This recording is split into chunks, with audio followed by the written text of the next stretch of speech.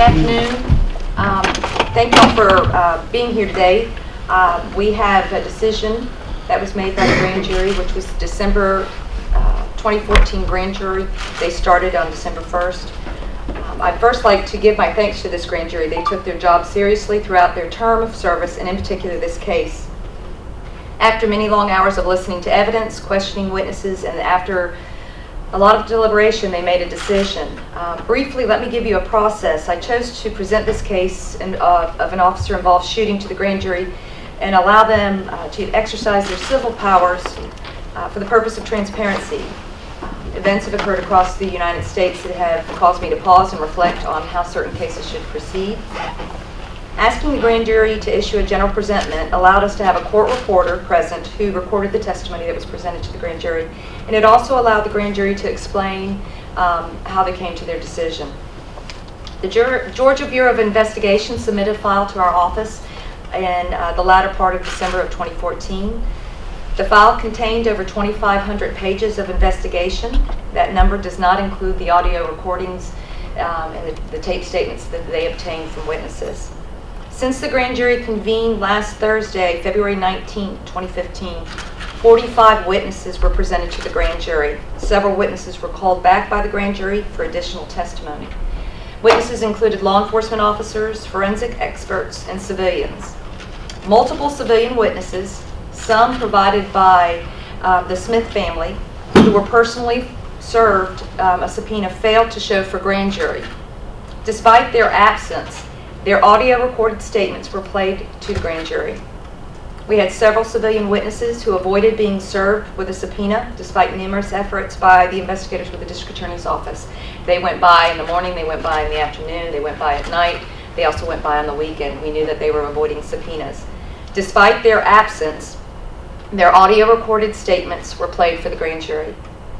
Officer Janot and the attorney for the Smith family have been notified of the grand jury's decision today. The grand jury issued a general presentment today and found that Officer Janot with the Savannah Chatham Metropolitan Police Department used justifiable force in the defense of himself and others in the shooting of Charles Smith. The general presentment was given to the presiding Superior Court Judge, Judge James Bass. It was then filed with the Superior Court Clerk's office. I'm going to list several, but not all, the conclusions of the grand jury. The grand jury found the physical evidence obtained supported the following conclusions. Mr. Smith had a gun after kicking out, of the, kicking out the glass of the police car and exiting the police car. This is based on DNA of Mr. Smith's found on the grip and the magazine of the, of the gun found next to him at the scene. Evidence showed Mr. Smith, who was handcuffed from behind, moved them to the front of his body while in the police car. Officer Janot was the only officer who fired his weapon during this incident. This is based on the rounds present in the weapons of all the officers, testing done of the weapons, and the number and the positioning of the spent shell casings. Only one officer was present in each of the two marked police cars at the scene on Augusta Avenue. The grand jury found that Officer Janot's account of the incident was most credible. Physical evidence showed that Mr. Smith was under the influence of marijuana, cocaine, and bath salts at the time of the incident. The grand jury found that citizens, eyewitnesses failed to testify. Uh, However, their audio recorded statements were played. However, most of those ta- statements directly contradicted the physical evidence presented. The grand jury expressed their concerns and beliefs that certain procedures concerning law enforcement should be changed. And finally, the grand jury expressed their concerns about the gun violence in Savannah and the number of convicted felons who are released from prison only to be arrested for new crimes while illegally carrying or using firearms. That was the total presentment of the grand jury, and it is not um, all of it, and as you, we gave you copies, um, it lists other um, concerns or um, evidence that they found. If you have any questions, we will take them at this time. Where is this going to go next? Um, are you going to agree with the grand jury's decision? Is this going to go to a second grand jury? Can you explain that, please? Sure. Um, we presented this to the grand jury, and they exercised their civil powers. When they are sworn in, they are impaneled by Judge Bass, the Superior Court judge. When they're sworn in, um, they are um, instructed that they have uh, criminal powers to stand over and review indictments. They also have civil powers. In this instance, um, eight or more of the grand jurors um, called for an investigation of, of the force that was used on September 18th, 2014. Um, They have made their decision. Uh, They've listed, we put all the witnesses up there that were available. Over 45 witnesses testified. Um, We are going to follow their decision that justifiable force was used and no further criminal action should be taken against Officer Janot. Any other questions?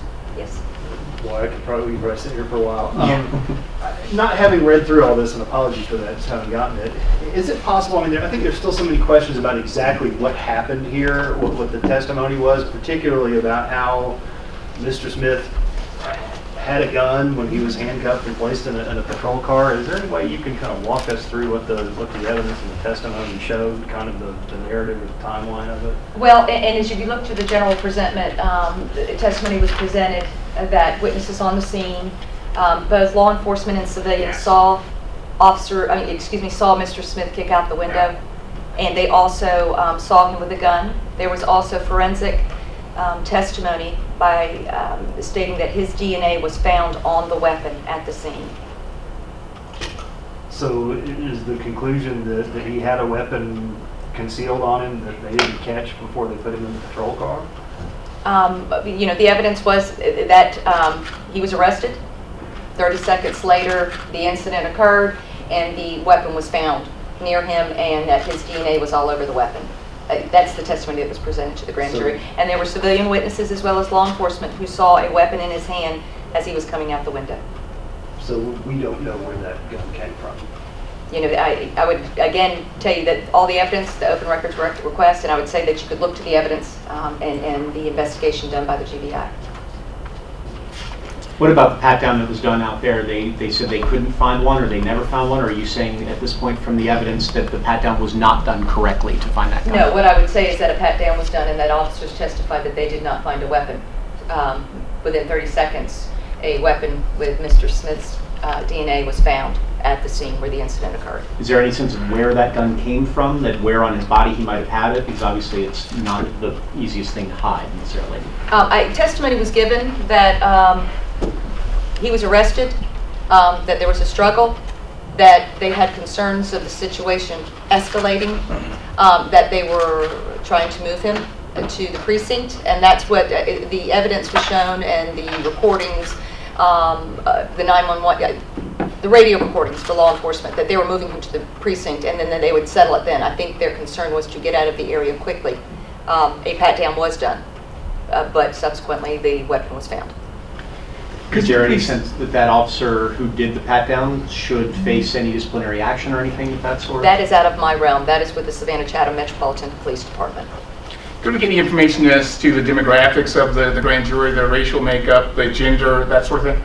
I would actually have to go back. Um, th- Again, I would just say this is a grand jury that was impaneled by Judge James Bass. I would have to go and look. I don't have that information. All right, thank you. How many eyewitnesses were we talking about that didn't respond to those subpoenas? I believe we had uh, five eyewi- eyewitnesses. Um, One did show. Um, I believe two um, avoided subpoena, and the three um, failed to come and give their testimony. However, in the um, position that we wanted to be transparent as possible, we went ahead and played the statements that they made either to the GBI. Some did not make statements to the GBI. Some refused to speak with the GBI, but did give statements to the Smith family. We received those statements via email. Um, They were not dated. Um, We didn't know who was in the room, but we went ahead and played them and let the grand jury make the decision. Is that normal process in that case for something No, like this? No, it is not. Normally, we want to meet with the witnesses, we want to talk to them, and normally that evidence would not be admissible at trial. However, because we wanted to be as transparent as possible, we went ahead and played them. You went with a little bit of a different grand jury procedure this time around. Can you talk about that a little bit more and what we're seeing here? How much more detail is this than we would normally see in this kind of situation? Well, as the district attorney, you have several choices. I could review the file and make a decision. I've been a prosecutor for over 20 years. Um, I could present um, an indictment and go before a grand jury and say, you know, should this case be true billed or should this case be no billed? Um, Usually you do it with one witness. This way we did it is, is for transparency because of what has happened across the United States. Um, And uh, putting up 45 witnesses, um, I mean, I- the grand jury, it was long, long days for them. I think that's unheard of. Um, We wanted to go to the extra mile. Any evidence we had, the good, the bad, the ugly, we wanted the grand jury to hear it. We wanted them to um, then deliberate and make a decision and issue a presentment of do they, did they believe that a criminal indictment should have been called or asked for, or did they believe no further action should be taken? Grand jury seems to, just from a cursory look, really hold the police to task for the way they handled the arrest itself and the immediate afterwards. Can you explain, can you talk a little bit about that for us? I can't. Um, Again, you know, we presented the evidence and then we stepped out. This was a presentment um, totally created by um, the grand jury, um, independent of us. And, you know, I can speak to the- their decision not to, that that believe the officers' actions were justifiable as to what they believe are policy procedures. That's something that the police departments would have to deal with. What would you have to tell the people out there who, there has been so much controversy surrounding this, and there are a lot of people who still, you know, look, before getting a chance to read everything, may believe otherwise about this shooting? What would you have to tell them now that this grand jury, the grand jury has come back with their decision? The first thing I would say is that we went to every extent we could to put everybody up here who had any information. Um, even witnesses who failed to show, we still put their evidence out there. I know that there had been rumors and innuendos of, of potentially a second shooter, two officers. We, the GBI, we reach out to the GBI and they say, this is a witness they said was involved in the shooting. Um, the GBI would then go and track it down and investigate it and find that there was no merit to it. The grand jury listened to all the evidence, all the tapes, and found that the most credible testimony was Officer Janot. They found that the physical evidence, the shell casings, the DNA, um, corroborated the story of what Officer Janot stated happened. And Officer Janot said he was the person who fired the shots because he had fear for another officer being harmed and himself. From a GBI perspective, how many man hours did you guys put into this, and how deep was this investigation? Uh, Timeless man hours that was is uncounted at this time, exactly how many hours it would be, but it was a, a long investigation and thoroughly looked into by the agents at my office. Yes, ma'am. The issue of the second shooter, I fear now that uh, this is become public. I've spoken to a witness, a witness who was called but ultimately did not testify before this grand jury, about seeing a second officer there. Um, My understanding is that there was a second officer present, perhaps even with his weapon unholstered. How do we know that that second officer was not involved in this, that he did not? Because the the GBI um, investigated all weapons. Um, The weapon, Officer Janot's weapon was taken to the crime lab. It was um, examined, and the uh, forensic firearms expert testified that the shell casings found on the scene matched the um, weapon that was used in the shooting, and that was Officer Janot's. What was the racial makeup of this grand jury? I don't have that information. Um, I- You know, and I keep saying, and I want to make sure everybody understands, that this grand jury was impaneled by a Superior Court judge. Uh, grand- I have no um, say in who is picked for a grand jury. Was the decision unanimous? That I don't know. They deliberated, we were not a part of it. Um, I can say it was a co- cohesive group. They worked quite well together. Um, So after this, you do not, I know you would have the option, if you wanted to, to still draw up a bill of indictment. You do not plan to do that? I do not. I believe that 45 witnesses were presented to this grand jury. Um, An investigation um, with documents over 2,500. Um, I believe that the actions, the grand jury heard everything, even the witnesses who failed to show. Um, We still played their recordings, their taped statements. Um, I believe um, the decision that the grand jury made um, should lay this to rest. Okay. Um, However, Officer done. Could potentially, if another district attorney is elected, could be charged. Anyone could, um, unless you have statute of limitations issues. Okay, I think we're done. We are, really? Well, Well, I I just, I mean, again, I think there's some, there's some details here, and again, apologies, I know this was a long investigation, a a long report, but we, we didn't have much of an idea before this exactly what transpired. It says here, Smith moved, moving his handcuffed hands from behind his back, a fact supported by video evidence to the front of his body. Was there video from the patrol car or somewhere else that actually showed that happen No, I, I- I believe what they meant is that there was video evidence that the hands were behind his back. when he was placed in the car? Okay. Right, and there's civilian testimony and also law enforcement testimony that they saw him after he kicked out the car with his hands in front of him with a weapon. And he actually, again, he was shot after exiting the car, is that correct? The physical evidence um, that the grand jury heard, yes, Okay. concludes or- or or, corroborates that. And it says here he was shot five times? That is correct. Okay. Do we know? That is through the the pathologist. uh, Dr. Donahue testified. Do we know where he was shot? I mean, five times, it was a lot in the front. And I would, add- I would say with that is the open records request, you get, a- I I don't want to give you a piece and parcel because there were so many witnesses, 45 witnesses testified to testimony. There uh, forensic toxicologist, a firearms expert, a pathologist, law enforcement, um, civilians, and again, if they failed to show, we still played their testimony. Okay. Uh, In, in light of everything that's been going on around the uh, nation, it was a very good decision by Savannah Chatham Metropolitan Police Department uh, chief at that time and command staff to involve the Georgia Bureau of Investigation in the investigation to have an independent look into the situation. So just wanted to give credit to the police department for reaching out to us at the beginning. How many more tools do you guys have than, say, the Savannah department or any department right now to use in an investigation like this to make sure you get all the evidence? We have uh, resources throughout the state of Georgia. So not only do we have the Region 5 GBI office, if we need additional manpower, we can, we have the ability to be able to call agents throughout the entire state. In- addition, it also gives an appearance of propriety that you have an independent agency. Um, You know, they don't have an axe to grind in this case, is what their job is to gather the evidence and present it to us. They, they don't, they're not involved with the police department other than the investigation. I will say that it's sad when anybody loses their life, so condolences go out to the Smith family. And also at the same time, sometime when law enforcement is put in these positions, uh, no one thinks about the police officer, so condolences also goes out to the uh, police officer, Officer Janot and his family, uh, because he's undergone a lot throughout this investigation. So, and I'd like to ask for the community to step up and support law enforcement, and let's work together as a team. All Could you identify yourself again, please? I'm Cyrus Perderman. I'm the Assistant Special Agent in charge at the Statesboro Field Office for the Georgia Bureau of Investigation. All right, thank you very much. Thank you.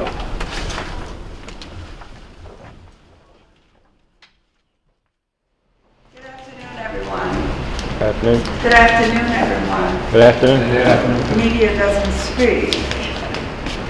Uh, Thank you for waiting on us. Uh, Today, as you know, the grand jury made its recommendation uh, to the district attorney uh, regarding uh, the death of a citizen here in our community. And I'm not here to comment on the decision, one way or the other, but I want to thank the members of the grand jury for doing their job. They are residents of this community, and uh, they were the ones that made the decision uh, to the grand jury after looking at every, I mean, to the the district attorney, after looking at everything. We want to thank them again, but we also want to thank our district attorney for having this uh, very transparent. Uh, When we first started this, we talked about transparency and what we would do in this community because that is what we are known for here uh, in the city. Uh, We want our residents to please remain calm, remain calm. Uh, With me today, I have several individuals, of course, the city manager, our chief of police, our assistant chief of police, and the president of the West Savannah Neighborhood Association, uh, Mr. Williams. So with that, we want to thank you for your attentiveness. And at this time, if you have any questions, uh, we'll be happy to take it. Do I have the chief on first? Yes.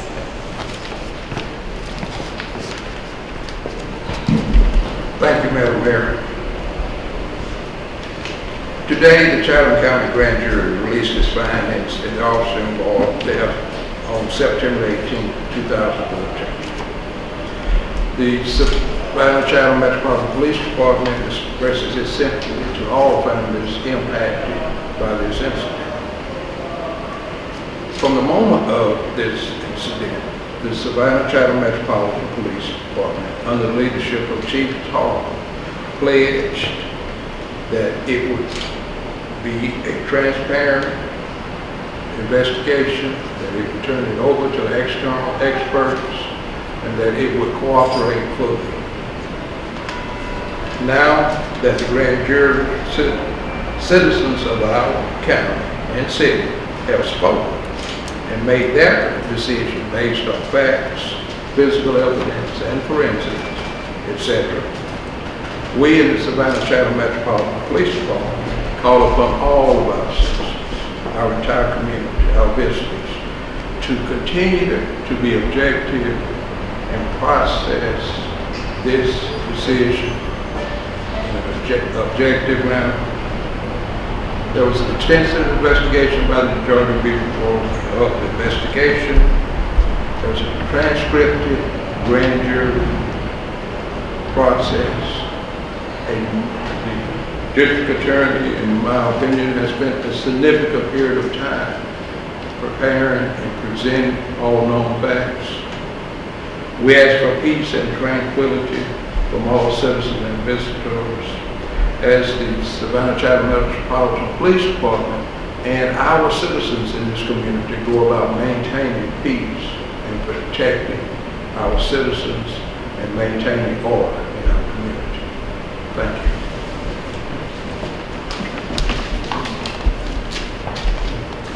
This is Mr. Ronald Williams, the president of West Savannah Neighborhood Association. Well, newly elected president of West Savannah Neighborhood Association. And uh, I just want to make a plea to the community, you know, not only living in West Savannah, but outside of West Savannah, for us to, you know, do anything in a peaceful way and uh, uh, try to do things the right way.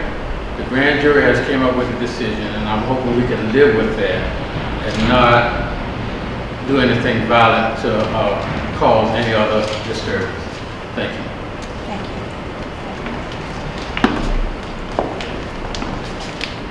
The city of Savannah pray for peace and tranquility uh, in the community.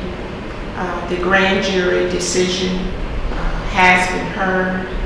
Uh, They expressed concerns about some of our procedures. And the chief of police uh, has been directed to look into those concerns and the recommendations of the grand jury uh, to further ensure peace uh, within this community. Thank you. We'll now take your questions.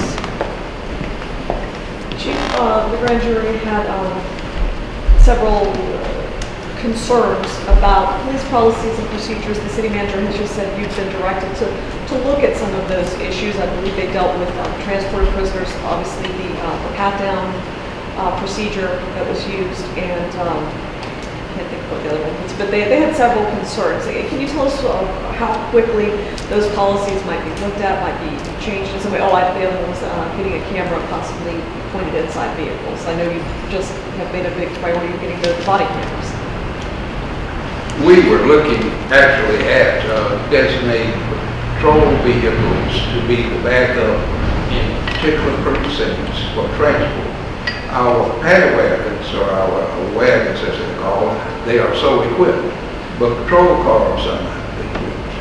Uh, We would, we will start looking at those types of issues. Each issue that's mentioned in the jury, we will be looking at them starting today. We've already started looking at the cost issues and we'll uh, designate certain cars within each precinct to be actual transport and bagged up for transport wagons. And that would include uh, to actually put bars on the windows where you can't get out. And what about the pat-down procedures? I mean, you, you have a set procedure in place. There's an issue that we'll look at. There's obvious uh, issue when, uh, but in this country, if you look at the uniform crime report, you will see where officers are hurt every year and killed uh, when they miss firearms or knives. Uh, That we have them, uh, not necessarily this community, but we have them get, uh, weapons get into jails. In my past community, we actually found a weapon in the record of a prison. So the weapons are, they are innocent by humans. We're going to do a better job than what we've done in the past. Chief, what do you think, the grand jury used the words appalled at the actions from those officers that day. What do you, what, what do you I think? not read that, so I don't want to comment. But uh, knowing that they found a gun with a clip, you had three officers pat him down, do you have concerns about how this was handled? I have concerns if we, we, we missed the gun, and that's the concern. Now, the word of Paul and how it appeared in the sentence, I have not read that. We, we missed the gun, that's, that is a grave concern. Could those officers face any kind of discipline for having this? I'm not gonna have conjecture of what they face facing or what not, but it's obvious we missed the gun. Hey guys, this is the last question here, make a good one. Chief, uh, what, uh, what is the status of Officer Janelle, and will there be uh, an internal uh, Savannah Child investigation into the incident on top of the GBI investigation? There's always some administrative review after uh, this uh, process is over. And uh, what will occur, uh, we have uh, been notified of civil litigation, and I don't think I should go into any further questions, uh, answers about what may occur, and what may not occur. Thank you. Thank you Appreciate it. very much. Thank you.